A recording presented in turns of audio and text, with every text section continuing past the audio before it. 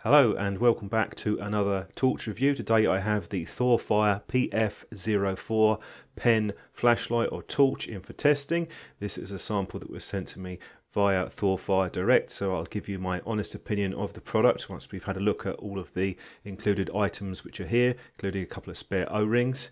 Onto the user manual. This lists out the power modes of the torch and we have three for this right down from a super low 1 lumens up to 210 which is quite high for a torch that runs on two AAA cells. Also got some specifications listed out. We have water resistance and it's drop proof and the operation of the torch. Taking a closer look at the body of the torch, as you can see it's uh, quite a thin, slim line design on this and we have a satin finish on the outside. This is the Type 3 hardened anodized aluminium. That means it's heat treated so that it resists marking and scratching build on this feels pretty good. I might have added a little bit more grip onto the barrel section though. Just unscrewing the head of the torch. Quite a fine thread on that and insert the two AAA cells positive terminal up. I'd recommend getting some decent capacity, higher capacity cells for use with this. That will increase your runtime with the torch just screwing that up and now we'll have a look at the LED this is an XP-G2 R5 LED and we can see quite a shallow smooth reflector on this. On the back we have a single button and it requires quite a bit of pressure to turn this on and off so it's not going to be accidentally activated. Now operation on this is dead simple you just one press to turn it on and off and then you press again half press to change through the power modes. This torch doesn't have a momentary on function so it's either on or off and just a short press to switch through the three modes but it does have a memory function so that if you power it off and on again it will remember the last setting that you have used.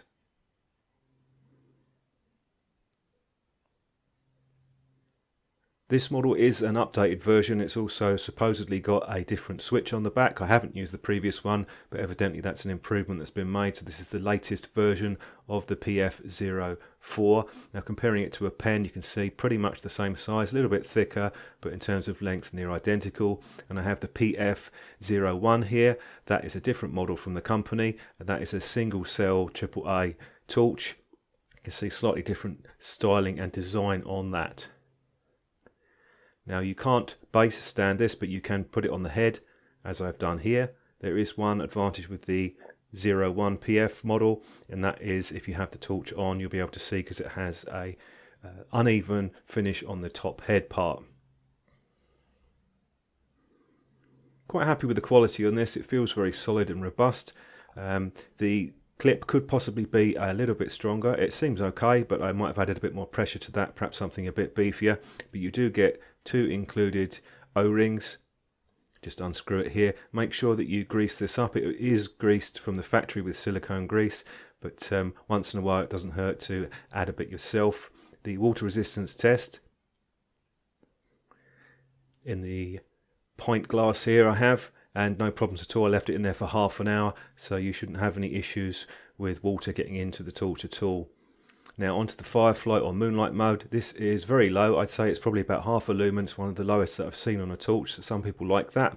And looking at the beam pattern, we have a bit more punch in the middle, but quite a widespread on the outside. That's at close range. Now doing my test outside, I've gone into the Firefly, which you won't be able to see any distance over about a foot, into the medium mode now and then I'll ramp it up to the top setting. You have about three minutes runtime on this due to the size of the head. Um, it will step down to the medium setting afterwards. You can see quite a nice wide beam on this and the brightness level is pretty good too. I'm quite impressed with the output for this particular torch. I'll compare it to the PF 01 here. You can see there's quite a big power difference between the two. And at closer range, nice wide beam spread on this it's less obvious the central area being too much brighter. It is a bit brighter, it does give it a bit more range, and we're on to the PF01, which um, has a much narrower beam pattern than the 4 model. And closer again, we're just a couple of feet here. I'm switching between the two, and I'm on to the PF01. quite a difference. As expected, there's two cells powering the 04 model, so that's uh, not unsurprising. And on the medium power setting, there's quite a difference between the two. Quite a big jump with the PF4 from the top setting down to the medium. So the PF01 is actually going to be a bit brighter on the medium setting, but not on the top. Here we are at another angle, wide angle shot. Switching between the two. The last one here, we can see the PF1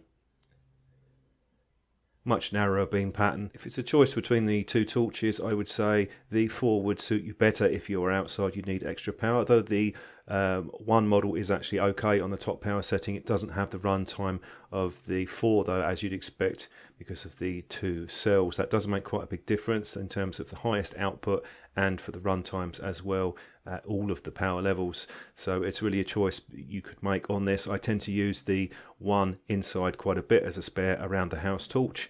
Overall, wrapping up with the Thorfire PF04, uh, quite a nice torch overall. I like this in most ways. It's a compact form factor. It also has very good power output on the torch and the build is very good too and I like the beam spread particularly at the top setting you get a nice wide beam lights up a good area for the compact size if I were to pick a few areas where I might adjust the design a bit I perhaps would have added a bit more texture to the barrel of the torch just to give you a bit of extra grip and possibly a bit more strength on the clip.